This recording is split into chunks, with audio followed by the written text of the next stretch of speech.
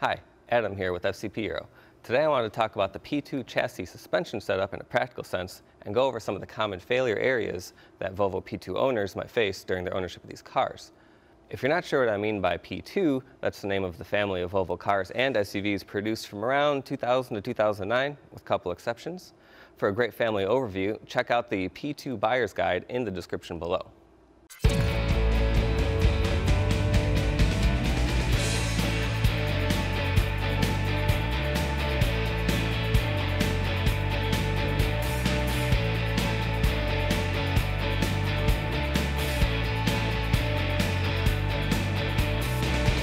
As a whole, P2s are known to be extremely comfortable and smooth without sacrificing composure or handling, which basically makes them the perfect European daily driver. Through most of the lifetime of the P2 chassis production, both front-wheel drive and all-wheel drive vehicles were produced. The basic control arm setup and suspension layout are shared by both. However, that's not to say that there aren't differences you have to keep in mind. Depending on the equipment that's installed, P2 chassis cars have multiple spring and shock codes, which are important to pay attention to when shopping. Up to and including model year 2003, these suspension codes cannot be decoded in the VIN. Instead, you have to reference the VIN plate for an arcane series of numbers that denote the correct parts for your vehicle. Uh, this is basically the build sheet for your car. The VIN plate is located in either the engine bay or the passenger door jamb, and it looks like this. The digits in the suspension code, starting from the left, represent the front spring, front strut, front sway bar, rear spring, rear shock, rear sway bar, front bump stop, and rear bump stop. Early models may have a combined code for the front and rear spring and shock combinations together, so those will feature 8-digit code plates instead of 12. So with that out of the way, what are some of the common things to keep an eye out for when it comes to the P2 suspension system? Starting at the front end, you're not going to come across any surprises, and that's because this is a basic MacPherson strut assembly. All the typical things that signal a bad strut translate here. One of the most common, as well as one of the most incorrectly diagnosed front-end failures, actually deal with these sway bar end links. Now, the sway bar end link is a basically a connection between the sway bar and your strut has a ball joint on each side and is under a lot of tension. When they go bad, you're going to get a noticeable knocking sound when going over road imperfections. Kind of sounds like a loose washer fluid reservoir uh, is thumping around in the front. When you change these, make sure to jack up both sides of the car to relieve the tension on the sway bar or else you're going to have a lot of trouble uh, removing them. We offer high quality direct OE replacements as well as beefed up HD versions. Now, I've heard of plenty of people replacing struts, control arms, sway bar bushings, and tons of other things when all they really needed was an end link. When a front strut does go bad on these cars, however, more likely you're going to experience the car handling poorly over bumps and bouncing due to loss of damping. Generally, you're going to get around 100,000 to 120,000 miles out of a set of front struts, although if you're lucky, you can get significantly more. Kind of depends on the road situation that you live in. A good way to test is to push down on the front of the car, and I like to do it with the hood up so you're not pushing down on the paint. Does the car bounce up and down? Uh, does it bounce up and down more than twice? Then you probably have a bad strut. Usually, this is accompanied by visual leaks on the housing itself, as well as tire cupping or tread ramping, resulting in a lot of road noise.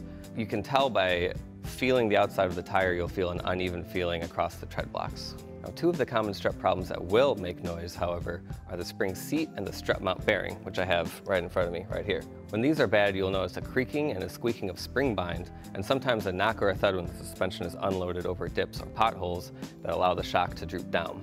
We sell a ton of these, and 100% every single time you replace a strut, you should also replace the spring seat and the strut mount. For some Volvo models, we offer uh, Sachs Quick Struts. These are extremely popular because they're already put together. You just bolt them on and go. Um, they do run out of stock every so often, so if you do see them in stock and you need a set, don't wait. Of course, we also offer all of these parts available separately for you or your mechanic to assemble themselves in high quality OE and aftermarket components. For Volvo R models equipped with a 4C active suspension, your options are a little bit more limited. When those fail, your R will handle like total garbage, and you may also get a fault code. Although technically you could replace these with standard struts, uh, you will be faced with the uh, chassis setting service required fault code on the dash every single time you drive the car. And remember, 4C also manages the engine and drivetrain settings like throttle response and shift behavior, so there's more involved than just a warning message if you do decide to swap to a standard style suspension. Now, at the time of filming, we don't have a specific solution for this, but we do try our best to stock as many 4C specific shocks and struts as possible. For sports suspension fans, we are happy to offer Bilstein B6 HDs for P2 models, which feature a slightly stiffer and authoritative handling damper made for stock ride height cars. We also have Bilstein B8 Sports, which feature the same valving, but those are designed for lowering springs. They are different due to the positioning of the internal bump stop. Also, BC coilovers have been very popular and they also get consistently great reviews. Pairing the FCP Euro lifetime replacement guarantee with a fairly low price point, that's no wonder why. P2 chassis cars have a specific problem that's really important to keep an eye on, and that's rust in the strut towers. When you're replacing the front struts, look up into the towers and examine the areas where the mounts rub against the tower. If you see rust developing there, uh, use a brush to clean it up and put some sort of coating on it to seal it. If you're looking down on the top of the strut tower and you see rust uh, on the paint, more likely the rust has already made it through the backside and those vehicles' days are numbered. Structural integrity is pretty much compromised at that point. Okay, now that we've talked about uh, the front struts with some detail, next thing I want to talk about are the control arms and the control arm bushings. Now, many P2 owners will most likely have to replace these at some point. They're very common to go bad. Worn out control arm bushings cause poor handling, wandering, and vague steering response. When you're under the car, you could use a pry bar and apply some leverage. Uh, if they seem really loose or floppy, it's time to replace them. Now, we offer complete control arms with the bushings already pressed in, so you could just bolt them on and go.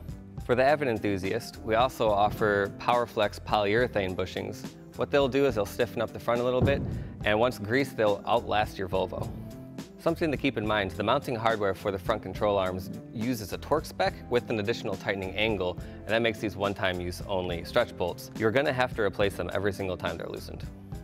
One thing to note for P2 S60s and V70s is that somewhere halfway through 2007, uh, they changed the control arm material from this aluminum to steel. So if you have an 07, pay attention to the chassis number on the product listings. That's the last six digits of your VIN. In this case, they stopped the presses at chassis number 626502 and started installing the new control arms. Now the first thing many drivers will notice when taking a P2 car for a spin for the first time is the turning radius. And the turning radius uh, ranges from large for cars with smaller diameter wheels to comical for those with 17-inch wheels such as the R. Unfortunately, there's not much we could do about that. Apologies for the disappointment. I just felt that I had to get that out of the way since this is an overview video. The control arms have specific steering stops installed to limit the steering lock based on uh, what wheel size is installed on the car. Uh, I recommend getting new ones every single time they're replaced because they're usually shot. I have one here on a steel control arm. We also uh, carry them for the aluminum styles and they are different. If you're replacing the front control arms, it's also not a bad idea to do the ball joints at the same time as a safety measure. Uh, did I mention there were no weird surprises at the front end of these cars? There is one surprise actually. The ball joint is actually situated upside down and is pressed into the steering knuckle. To remove it, you can use an air chisel, like in Jay's great video uh, linked in the description below, or you can uh, thread a slide hammer onto it and pull it out that way. To install the ball joints, you're going to be suffering without this special tool. Basically, what it's meant to do is line the ball joint up so that when you actually install it, you'll have everything basically ready to press in straight and uniform.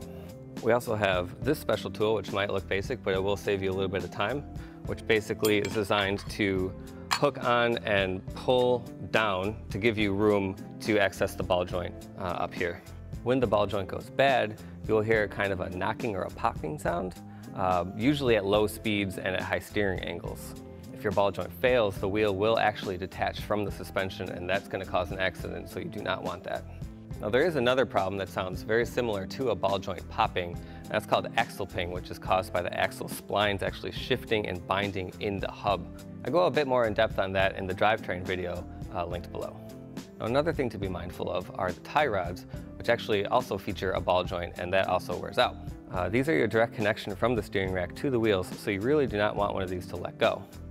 When the tie rods are bad, you'll notice a torn boot usually, as well as wonky steering feel.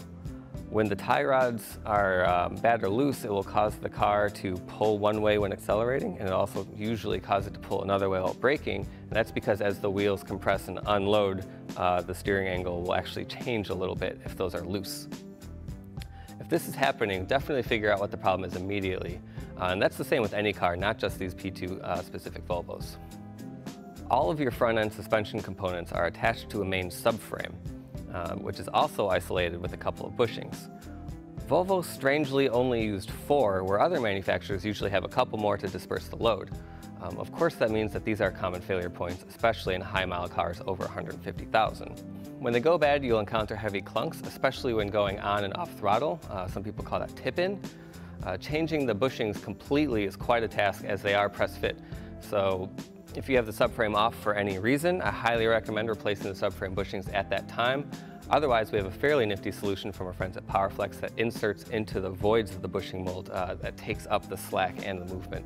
A lot like the subframe, the engine and transmission mounts suffer the same fate and feel more or less the same when they go bad. Of course, that means knocks and clunks when going on and off throttle. We have kits to replace all of the engine mounts at once because usually around 100,000 miles, you're going to start to need an engine mount or two. And generally when one goes bad, it puts more stress on the next one, and that causes a cascading effect. So I recommend replacing them all at one time, get it out of the way. All right, now moving on to the rear of the vehicle. There's far less to go wrong here, but what does is actually very common. The principal offenders are uh, the rear shocks, which I have two right here. Like the front struts, when these go bad, you'll get uh, bouncing and porpoising. Uh, you also get bad tire wear and leaky shock tubes.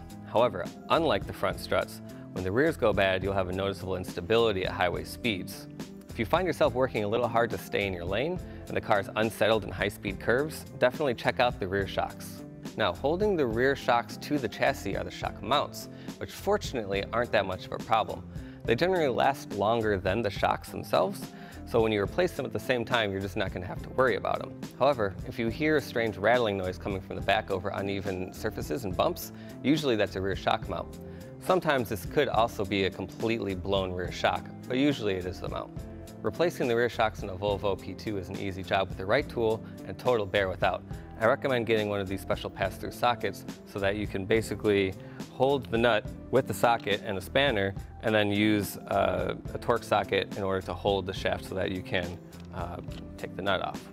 If you've got an electric impact gun with a full battery, you could usually blast it off before it knows what hits it, and that goes double for a good pneumatic gun. Another thing that can go wrong with the rear end are the bushings, and the most common ones are the rear trailing arm bushings.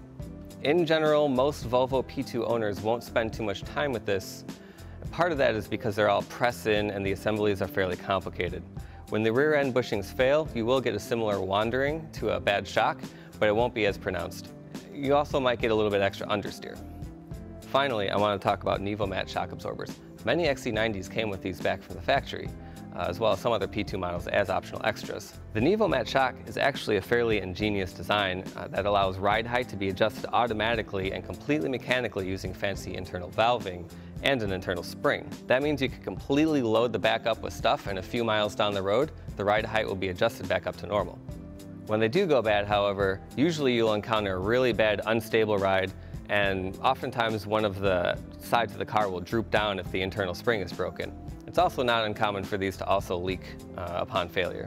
You can tell if you have a Nivomat rear suspension setup in two ways. The first is by VIN, although as I mentioned uh, before, in some rare cases, VIN might not actually decode that for you. The easiest way is to actually look under the car and see what uh, kind of shocks you have. As you can see, they are visually uh, quite different. The Nivomat will have a much larger body, as well as this kind of accordion style rubber boot. So, that just about sums up all of the most common P2 suspension and chassis problems we see here at FCP Euro. If you've experienced other issues with your P2 Volvo, we'd love to hear about them in the comments below. If you've enjoyed this video, hit the like button and be sure to subscribe for all the new Volvo content we have coming down the pipeline. Thank you for watching, and I'll see you next time.